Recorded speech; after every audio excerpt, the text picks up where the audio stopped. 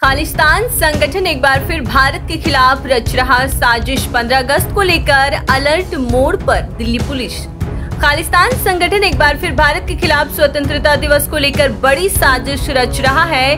भारत में अलर्ट जारी किया गया है। बता दें कि 15 अगस्त के दिन यह संगठन दिल्ली में जगह जगह पर खालिस्तान नारे वाले पोस्टर भी लगा सकते हैं। इतना ही नहीं, दिल्ली पुलिस को टारगेट किलिंग के भी इनपुट मिले हैं। खुफिया एजेंसी को मिली जानकारी के बाद दिल्ली पुलिस पूरी तरह से अलर्ट पर आ गई है। दिल्ली पुलिस कमिश्नर ने इसे लेकर हाई लेवल मीटिंग में बुलाई थी और दिल्ली पुलिस के स्पेशल सेल को भी अलर्ट पर रखा गया है। पंद्रह अगस्त को देखते हुए पुलिस कोई भी लापरवाही बरतना नहीं चाहती है।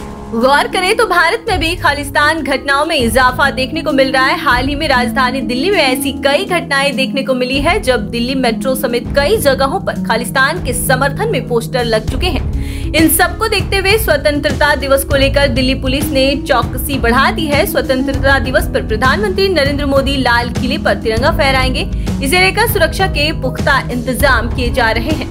हाल ही में पंजाब पुलिस ने खालिस्तानियों के नेटवर्क पर बड़ी कार्रवाई की थी। पुलिस ने कनाडा में बैठे खालिस्तान आतंकी लखवीर सिंह उर्फ़ लांडा के तीन साथियों को गिरफ़्तार किया था।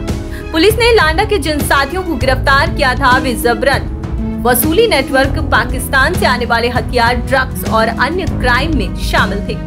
इस दौरान पंजाब डीजीपी गौरव यादव यादव ने बताया कि गिरफ़्तार किए गए अपराधी का संबंध कनाडा में छिपे आतंकवादी लखबीर लांडा के साथ है। तीनों आरोपी संगठित अपराध और जबरन वसूली का एक बड़ा नेटवर्क चला रहे थे। सभी तथ्यों की जाँच के बाद जालंधर पुलिस ने एक ट्रंप लगाकर इन्हें गिरफ़्तार किया। उन्होंने बताया कि तीनों आरोपियों को विदेशी हैंडलर्स ने प्रतिद्वंदी गिरोह के सदस्यों को खत्म करने का काम सौंपा था।